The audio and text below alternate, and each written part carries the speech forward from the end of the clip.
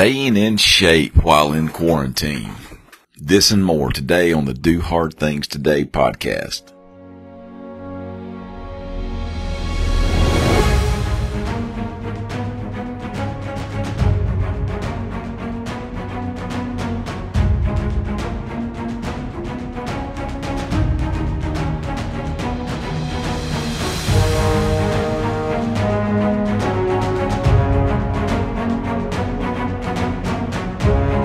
How? Still in quarantine, man.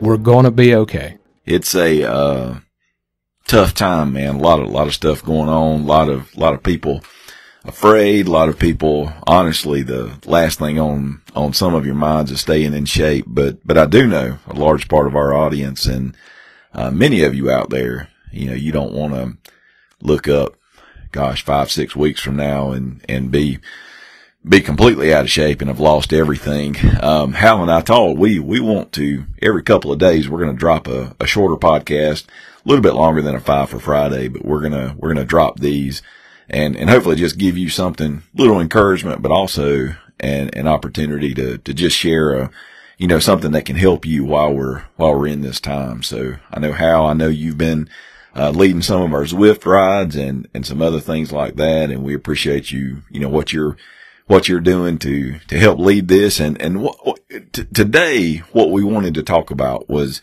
you know, what can you do at home? I know many of your gyms have closed down, and in fact, where we are in um, the state of South Carolina, the governor just issued a non-essential business. is Basically, and gyms are considered non-essential. Um, so they will all be closing down. So there will be no opportunities um, to to actually go into a gym and work out. But but that does not change the fact that you can stay in shape, and there's a lot of ways that you can do that. And so. Um, Hal and I wanted today just to just to share a few of those ways, and and as you know, we like to do these things in bullet bullet points, and and the first one is use your body. What I mean by use your body, you can you can have an awesome high intensity workout just using your body weight um, several exercises out there. And in fact, our YouTube channel is going now. It's Do Hard Things Today um, on YouTube. You can find that channel, and we're we're going to do some of these exercises for you and drop some, start dropping some of those videos. So make sure you go over and subscribe. Hal will put this in the in the show notes on how you can subscribe to the YouTube channel. Uh, but you know, when you look at at exercises such as burpees, man, I love burpees.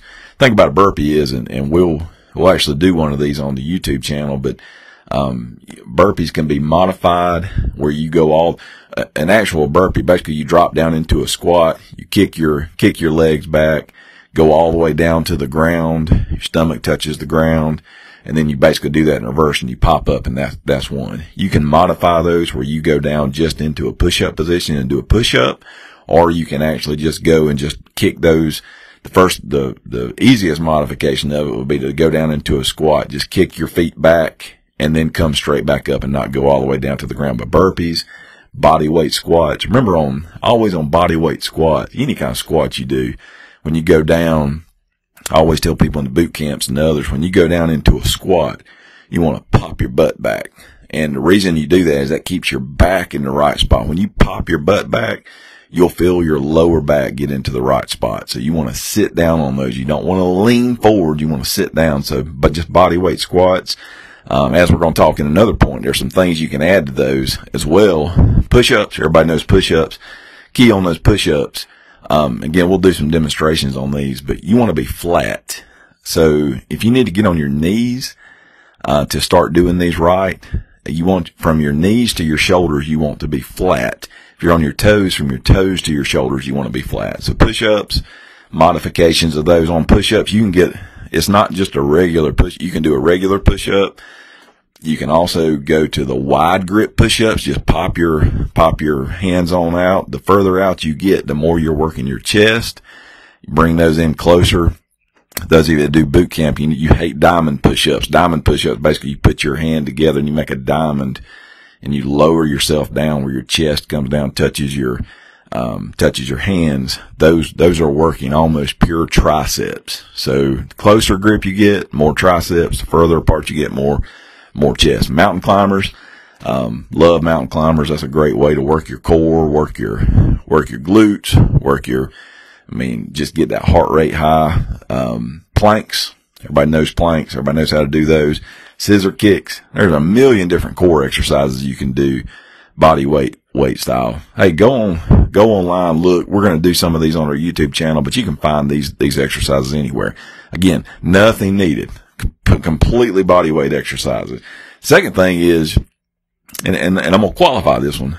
Get outside. Man, the weather has been awesome. If you can deal with the pollen, um, the weather has been just, just perfect outside.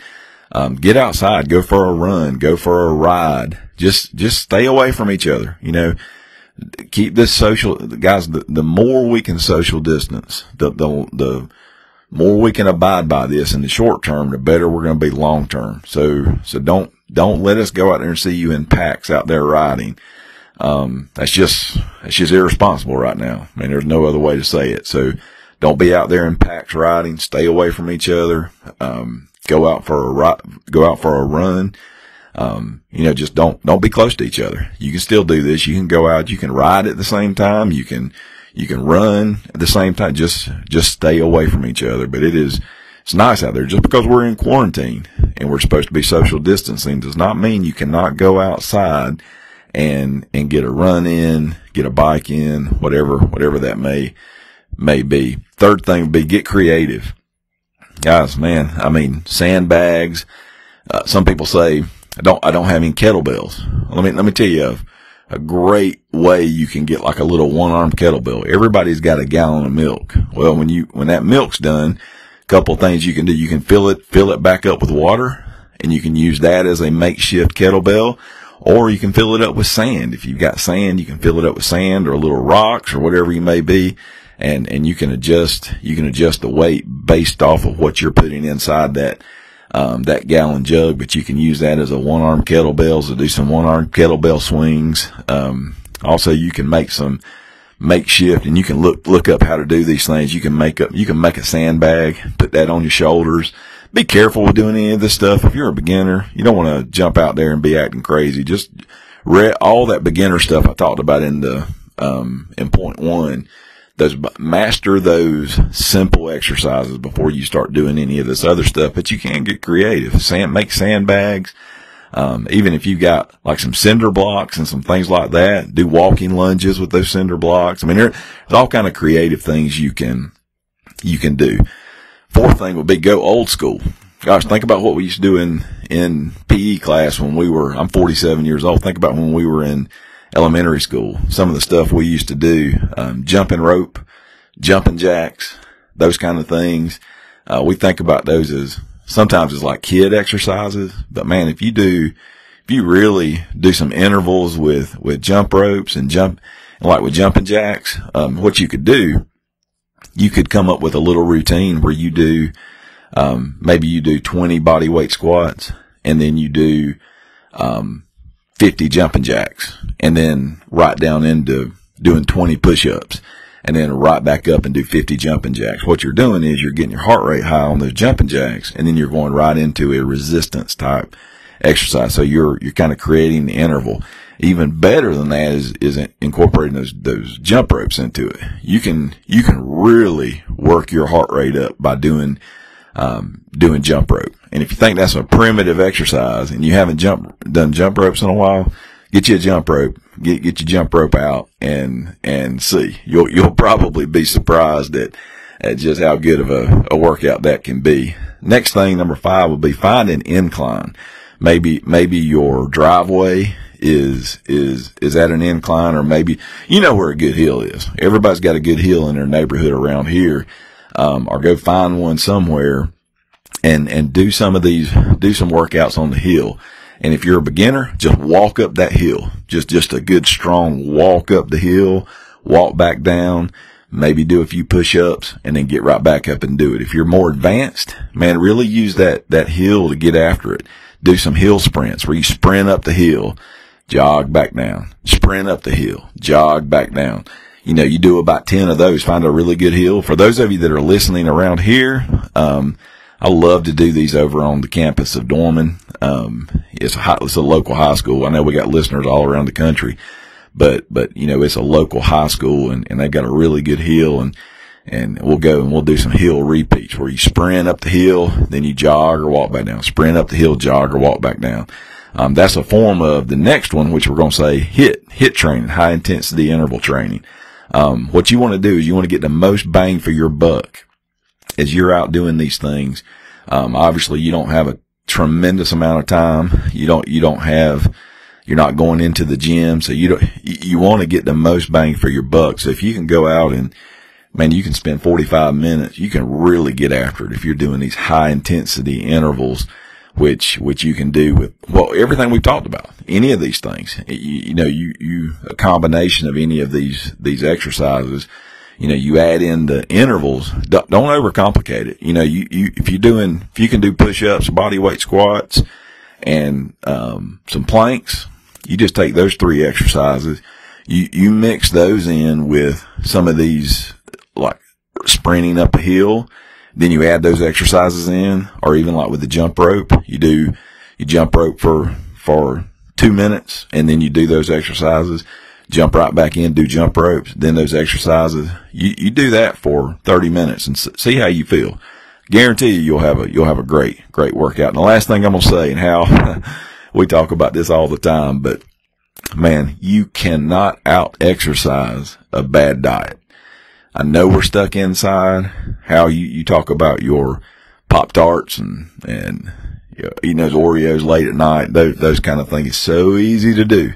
So easy to do, um, right now. I would encourage you to listen to the last podcast about intermittent fasting. I've been doing that for, um, well, I've been doing it for a week now and I've seen some tremendous results. I've been documenting it and, and I'm going to do a follow up podcast where I'm going to talk about what I'm seeing, but you know, intermittent, intermittent fasting where you're, you're doing this for, um, you're basically eating for eight hours a day, fasting for 16 a day. That will help you, especially in times like this where, where late at night, you know, probably staying up later, watching Netflix, you know, doing, you know, how you're working from home now half the time. Um, it's just easy. It's easy to, to get off track. So, um, you can't out exercise a bad diet. So do, do whatever you got to do to control what you can control. I was talking to someone today. I was telling you about this, Hal, before we start, started recording today that, that, uh, somebody told me that, you know, you can control what you can control. You can't control what you can't control. We can't control the fact that we cannot go to the gym right now. We can't control the fact that we're quarantined. Hal you can't control the fact that you can't go out on your group rides. But there are things you can control. You can control that you're going to invest 30, 45 minutes, an hour every day to your health. You can control that you're going to drink your water. You can control that you're not going to eat a bunch of junk food. You can control that you're not going to eat after 8 p.m. or whatever that may be. Control those things. You can't out exercise a bad diet. We're going to put these, put all this stuff in the show notes. Hal will put the link to the, to the, um, YouTube page. We're going to be uploading some videos and some other things like that. Make sure you subscribe there.